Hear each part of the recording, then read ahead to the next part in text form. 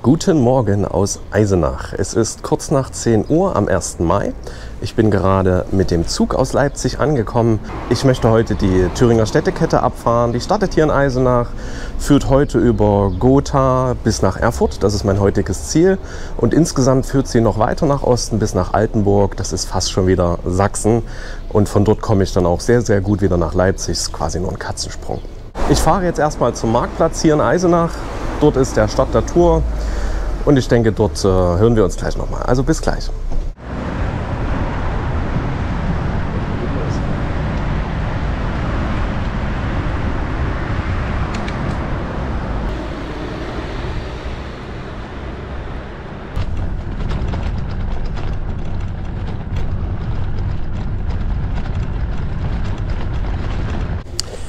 Das ging fix. Ich bin am Marktplatz angekommen. Hinter mir seht ihr die Georgenkirche und die ist wohl tatsächlich Startpunkt des Radwegs Thüringer Städtekette.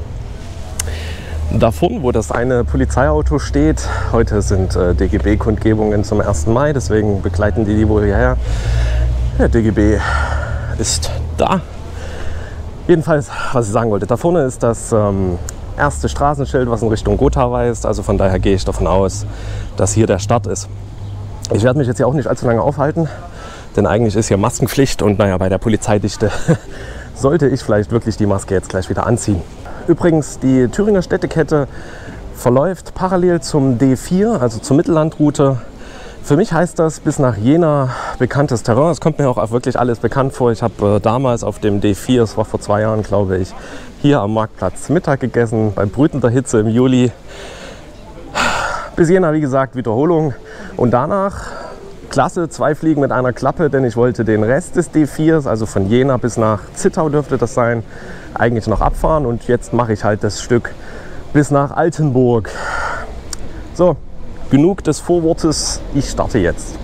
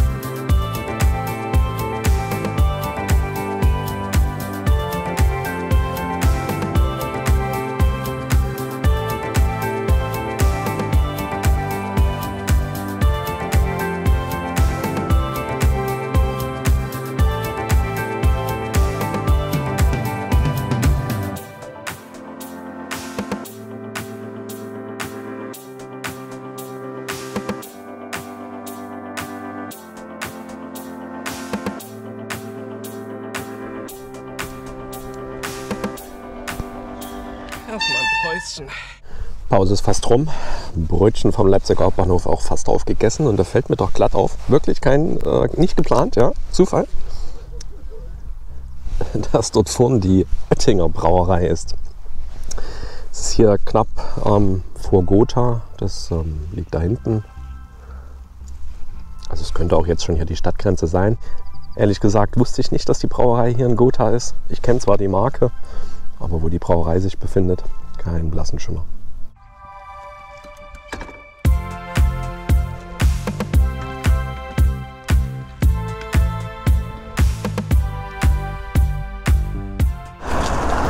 Gotha ist dann übrigens die zweite Stadt auf der Städtekette nach Eisenach. Kurzer Schwenk zu Aral. Noch ein bisschen Wasser holen. Tja, das war's schon wieder mit Gotha. Rechter Hand jetzt hier noch die letzten Ausläufer des Tierparks. Die Route nimmt Gotha nur in so einer Art südlichen Tangente mit. Das heißt, wenn man was von der Stadt sehen wollte, müsste man abweichen.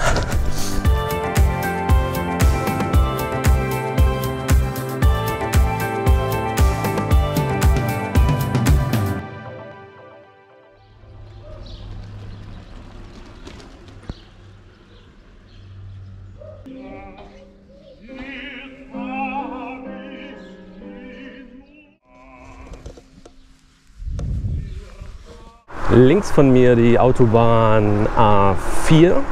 Und ich weiß nicht, ob ihr diesen braunen touristischen Hinweisgeber seht, dieses Schild. Da steht drei Gleichen drauf.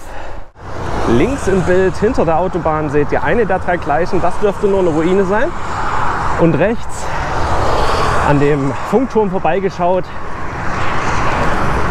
ist die zweite der drei Gleichen. Und am Horizont, ich weiß nicht, ob ihr das erkennt, auf dem Berg dahinter quasi, da ist die dritte der drei Gleichen.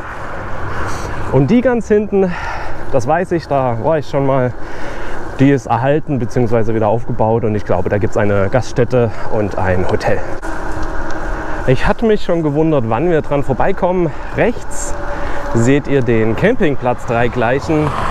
Hier habe ich gezeltet auf meiner Tour entlang der Mittellandroute. Hier ist die Zeltwiese jetzt rechts. Ihr seht das wahrscheinlich durch den Zaun nicht. Ich war ziemlich allein und das Gute war, es gibt dort eine, eine Sitzbank, so eine überdachte Sitzbank und da ist tatsächlich eine Steckdose drin. Das heißt, da konnte ich, während ich mir Essen gekocht habe, meine elektrischen Geräte laden und das war richtig gut. Also dieser Campingplatz ist echt zu empfehlen, liegt hier an der Route D4 und natürlich auch in der Thüringer Städtekette. Wer diese Städtekette nicht ganz so grob fahren will wie ich, also ich mache nur drei Tage, wer noch ein paar kürzere Etappen macht, das sind jetzt hier 50 Kilometer bis hierher. Also das ist wirklich eine sehr angenehme Distanz, vor allem wenn man sich in Eisenach und Gotha gegebenenfalls noch was anschauen will.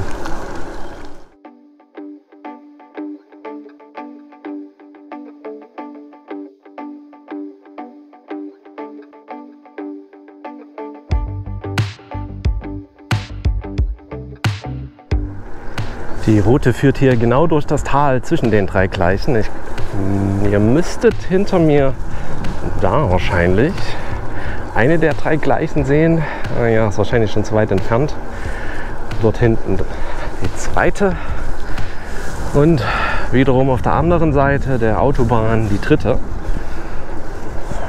Ja, und hier bietet es sich ja förmlich an. Ich hole mal die Drohne raus.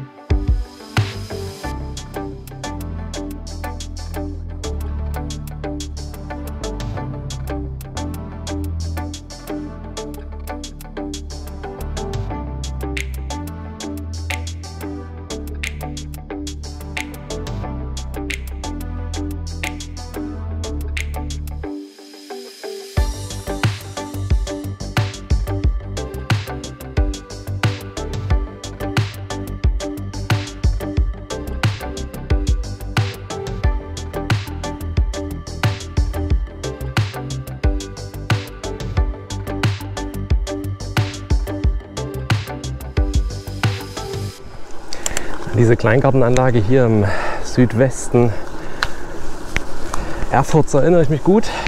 Vielleicht habt ihr gerade das Schild gesehen. Hier gibt es ein Lokal, was nur zwei Ecken in dieser Kleingartenanlage drin ist. Und ja, ich glaube, ich sage es jetzt zum dritten Mal. Das war so brütend heiß damals auf dem D4. Da bin ich hin und habe erstmal zwei Gläser eisgekühlte Cola getrunken. Erfurt ist erreicht. Die dritte der Kettenstädte. Ich habe jetzt noch anderthalb Kilometer bis zu meinem heutigen Schlafplatz. Und es tröpfelt tatsächlich ein wenig. Schon eine ganze Weile. Aber wirklich nur minimal winzige Tröpfchen. Aber die Wettervorhersage sagt für heute Nacht tatsächlich hier Regen an in Erfurt. Bis morgen früh, bis um 8, um 9 rum. Wenn es in der Nacht regnet, ist mir das ziemlich egal. Ich hoffe natürlich, dass es dann morgen so 8, spätestens 9 fertig ist, damit ich dann im Trocknen starten kann. Schönen guten Abend. Gleich vorweg, wenn das Bild jetzt unscharf wird, wenn die Kamera beschlägt, das liegt an der Feuchtigkeit. Es hat schon vor ungefähr zwei Stunden angefangen leicht zu regnen, zwischendrin mal wieder ein bisschen ähm, heftiger, sodass halt jetzt die Luftfeuchtigkeit relativ hoch ist. Auch hier drin lässt sich letztlich nicht vermeiden. Wie ihr seht, sitze ich im Zelt. Ich bin an meinem Schlafplatz angekommen. Ich habe mir auch schon was zum Abendbrot gekocht. Ein paar Nudeln sind es geworden was Einfaches, Schnelles. Das habe ich jetzt nicht gefilmt, denn ich möchte hier nicht besonders viel Aufmerksamkeit erregen. Es sind tatsächlich jetzt auch noch ein paar Leute hier unterwegs. Hier gibt es wirklich ein Netz von Wanderwegen. Von daher habe ich es lieber so klein gelassen, wie es denn irgendwie geht. 74,8 Kilometer sind es heute geworden. Für mich ganz in Ordnung. Bin ich zufrieden mit für den ersten Tag wieder nach einer längeren Pause, was das Fahrradfahren angeht. Morgen und übermorgen stehen planmäßig jeweils 78 Kilometer an. Allerdings werde ich mal sehen, wie das morgen einerseits läuft und wie morgen dann das Etappenziel aussieht. Denn ähm, Etappenziel ist in einem Tal, wo es links und rechts eben bergauf geht, sodass dort nicht besonders viel ebene Fläche sein dürfte. Problematisch daran ist, dass ein, ein Wanderweg, ein Radweg direkt dort lang geht und halt daneben links und rechts nicht besonders viel Platz ist, um da eben mein Zelt aufzuschlagen. Ich werde es mir mal anschauen, was ich mir rausgesucht habe bei Google Maps. Wenn das aber nicht ähm, passen sollte, dann fahre ich wahrscheinlich einfach noch ein paar Kilometer weiter. Das positive Nebeneffekt ist auch, dass dann übermorgen weniger anstehen und ich dann eben eher die Heimreise antreten kann. Das, was hier im Hintergrund übrigens die ganze Zeit piepst, ist mein Fahrradcomputer. Der hat es dann jetzt endlich geschafft, sich mit dem Handy zu synchronisieren und meine, meinen Track von heute hochzuladen. Die heutige Nacht ist übrigens auch Generalprobe für meinen neuen Schlafsack. Das ist ein C2 Summit Trailhead 2. Den habe ich mir gekauft, um mein Gepäck volumenmäßig ähm, zu optimieren. Denn der alte, den ihr vielleicht in der Finnland-Videoreihe äh, gesehen habt, das war tatsächlich, ich glaube, der hat 15 Dollar gekostet bei Walmart. In Amerika haben wir uns den mal geholt, als wir da eine Autorundtour gemacht haben ja, entsprechend war das halt, der hat gut warm gehalten auf jeden Fall. Allerdings war der eben nicht besonders fortschrittlich, was die Technologie angeht und was Dämmstoff angeht ähm, und hat halt ein entsprechendes Volumen. Auch die erste Nacht wird es für ein Exped Aufblaskissen ähm, sein, das ich mir gekauft habe. Ich habe das natürlich zu Hause schon mal ausprobiert. Natürlich nicht ähm, ein paar Stunden drauf geschlafen. Das wird sich zeigen, wie gut das läuft. Aber ich bin da eigentlich optimistisch. Zu Hause fühlte es sich gut an. Von mir soll es das für heute gewesen sein. Ich werde jetzt mal die neuen Schlafaccessoires ausprobieren und äh, ja, vielleicht berichte ich euch morgen dann einfach. Ich wünsche euch allen eine gute Nacht. Wir sehen uns dann morgen.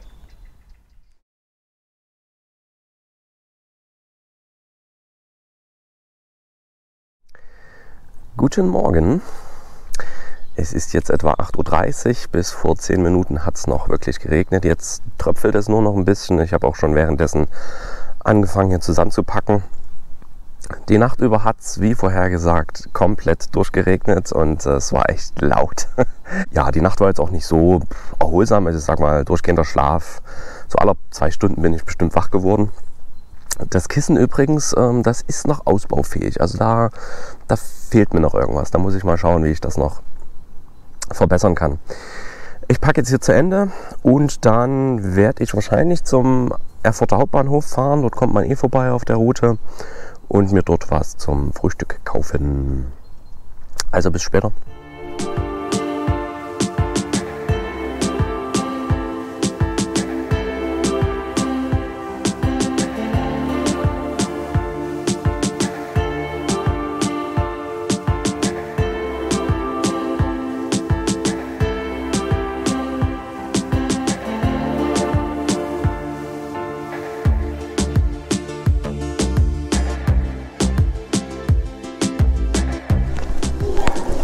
Frühstück besorgen hat etwas länger gedauert. Denn hier im Erfurter Hauptbahnhof stehen quasi überall, wo es was einzukaufen gibt, Schlangen. So auch beim Backwerk. Ich werde jetzt erstmal aus der Innenstadt rausfahren, denn hier besteht Maskenpflicht in der gesamten Innenstadt. Und äh, ja, suchen wir irgendwo eine Bank oder was und dann werde ich frühstücken.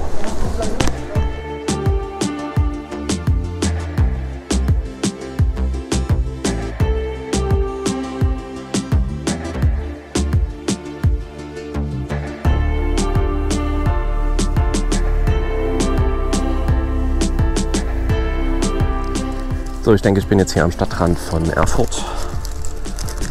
Dem Outer Rim quasi. Hier ist auch schon sehr, wie ihr seht, ländlich. Also ich frühstücke jetzt erstmal zu Ende. Da muss ich aber schauen, dass ich weiterkomme, denn es ist durch die Warterei im Erfurter Hauptbahnhof sehr spät geworden. Hinzu kam, es ist wie verhext, in Erfurt im Zentrum hat ähm, das Garmin Navi wieder rumgesponnen. Das hat es ab und an mal, dass dann einfach der Bildschirm aus ist.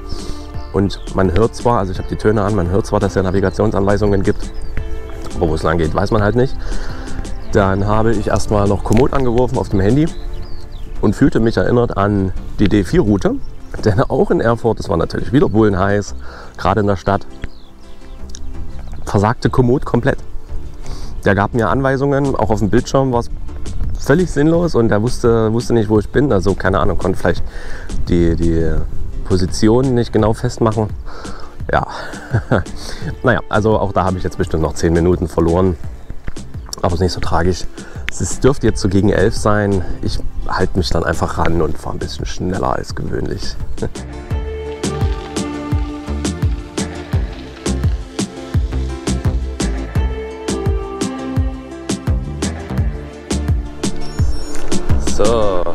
da ist meine Strecke wieder. Ich musste mich jetzt gerade durch ein Dorf durchschlängeln, weil jetzt von hier links quasi alles aufgerissen war.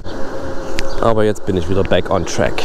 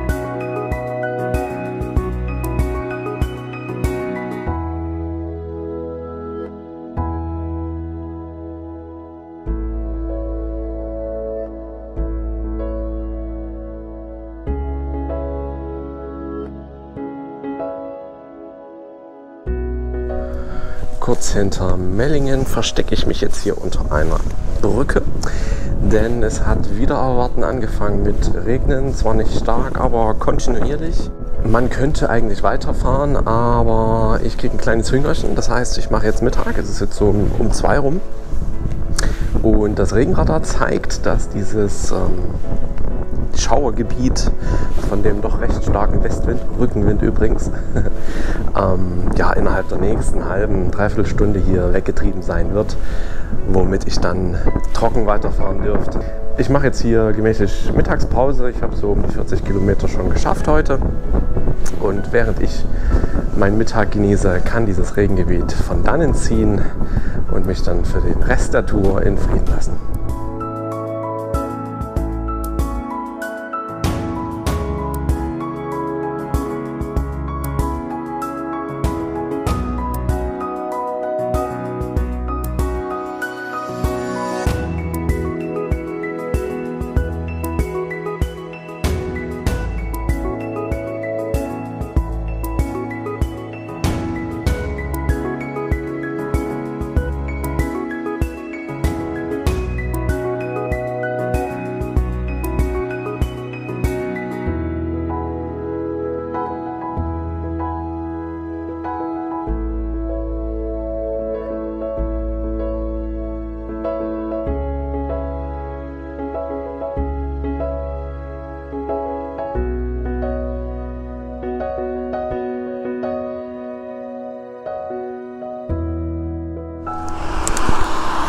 Stadt Nummer 5 dürfte das sein.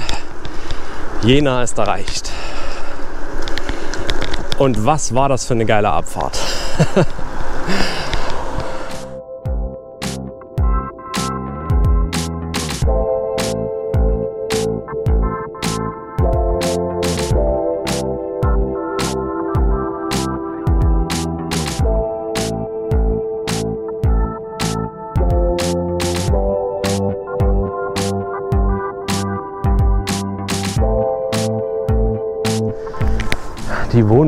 von Jena Lobeda in voller Pracht.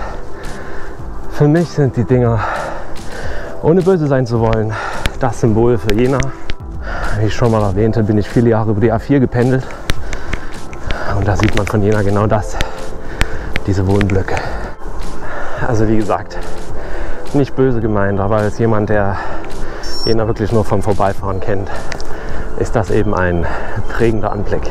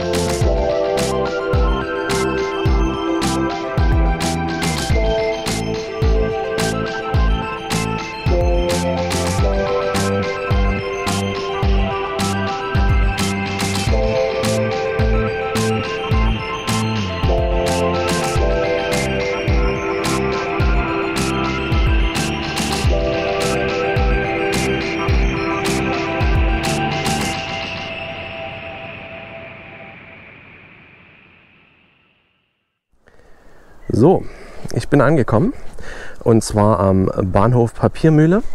Ich glaube, ich hatte das am Anfang schon erwähnt, dass dieser Bahnhof hier für mich die Alternativlösung sein würde, wenn ich keinen Zeltplatz finde. Tatsächlich habe ich keinen gefunden.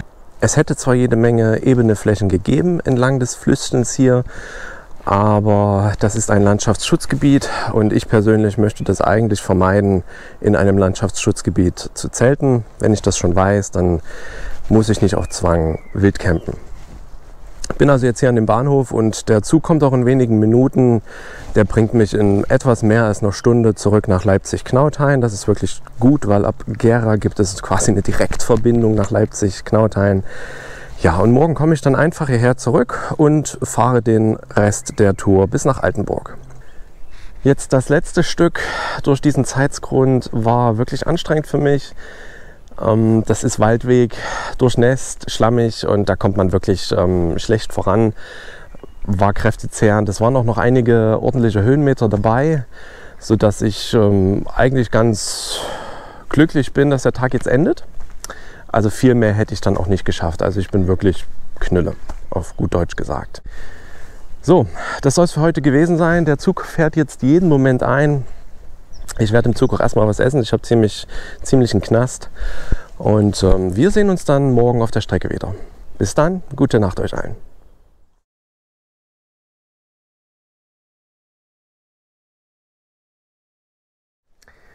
Guten Morgen aus Papiermühle bei Stadtroda. Ich bin wieder da, wo ich gestern aufgehört habe, nämlich hier am Bahnhof Papiermühle. Es ist etwa 10 Uhr und wie ich gestern schon gesagt hatte, ich mache heute einfach den Rest bis nach Altenburg, knapp unter 80 Kilometer. Gepäck habe ich alles noch dabei, wie ihr seht. Außer Zelt und Footprint, denn das beides war nass. Das habe ich zu Hause gelassen und das hängt jetzt schon draußen zum Trocknen. Dem wollte ich einfach nicht diesen Tag ähm, Nässe noch geben. Aber gewichtsmäßig dürfte das kaum einen Unterschied machen. Warum habe ich das Gepäck noch dabei?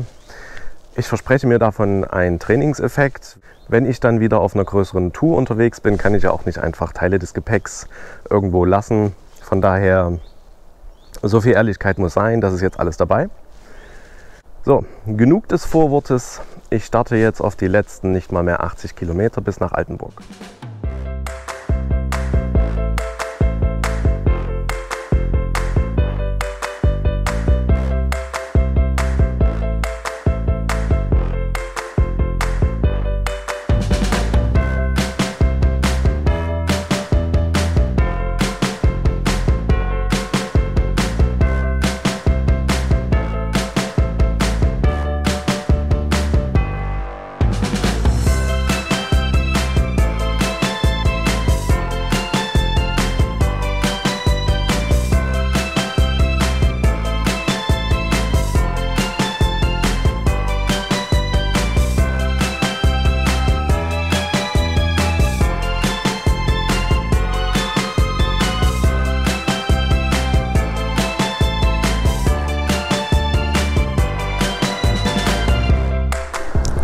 Meine Güte, das ist Idylle pur hier.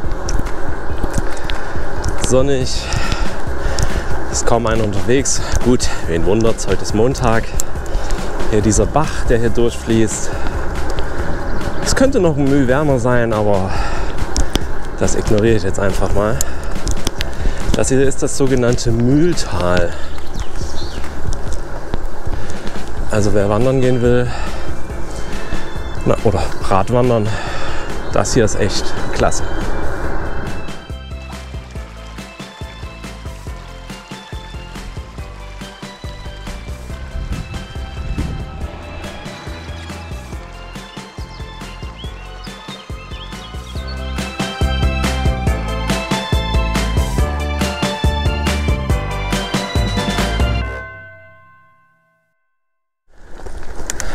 Radweg führt hier direkt an der Köstritzer Brauerei vorbei.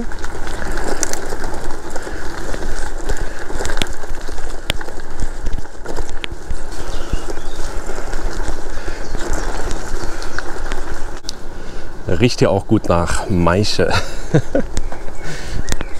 oh ja. Mmh.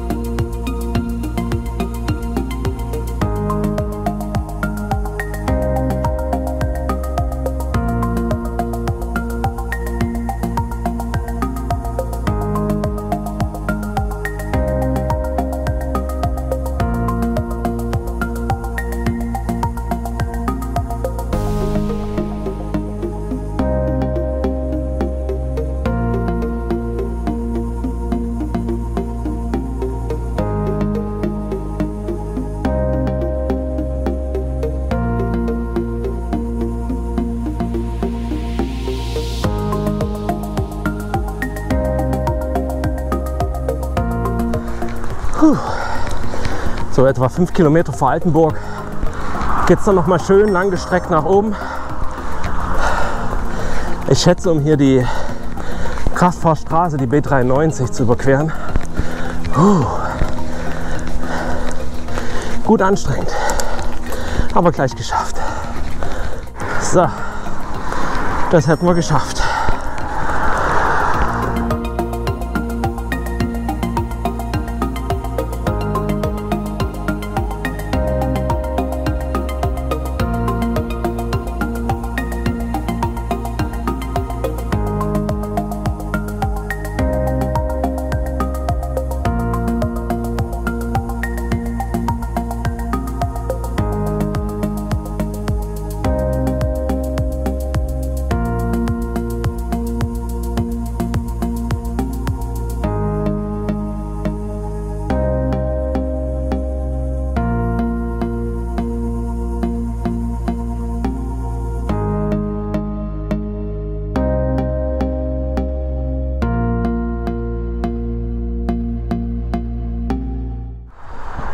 Ich bin angekommen.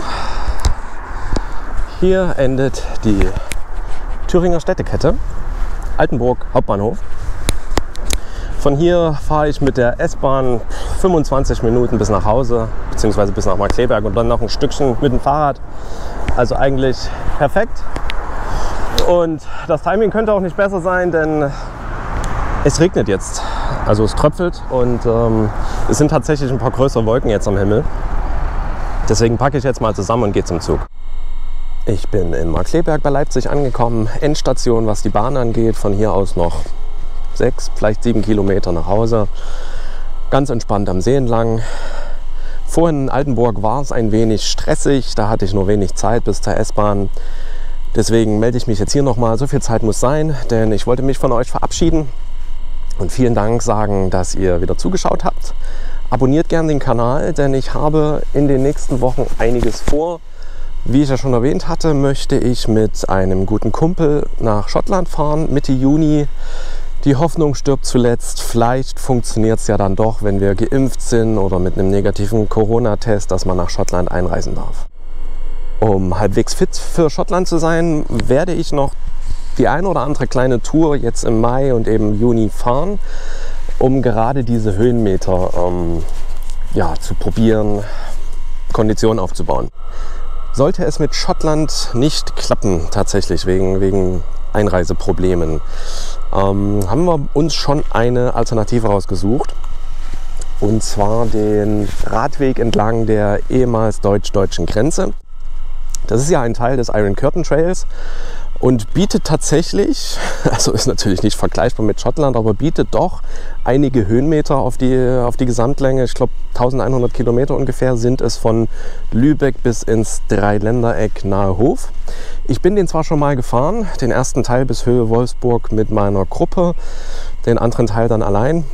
Allerdings möchte ich ja am Ende, ganz am Ende in ein, zwei Jahren eine komplette Videodokumentation des Iron Curtain Trails ähm, vorweisen können. Und da gehört natürlich auch dieser Radweg dazu. Den werden wir also machen, wenn Schottland nicht klappen sollte. Von daher üben muss ich so oder so. Und das werde ich jetzt die nächsten Wochen ähm, versuchen einzutakten. Ich muss natürlich bis dahin arbeiten, denn quasi den gesamten Sommer habe ich dann Urlaub, um die verschiedensten Radtouren ähm, zu fahren. Also es wäre echt schön, wenn ihr mich da begleiten würdet. Abonniert gerne den Kanal, lasst mir ein Like da für dieses Video, wenn es denn euch gefallen hat. Lasst mir auch Kommentare da, Kritik, was ich gegebenenfalls besser machen kann. Und dann würde ich sagen, genug gelabert für heute. Ich fahre jetzt noch in die untergehende Sonne. Ja, ganz so schlimm ist es noch nicht. Ich fahre jetzt nach Hause, ganz entspannt um den Korspudener See. Und dann würde ich sagen, wir sehen uns das nächste Mal. Macht's gut, allzeit gute Fahrt.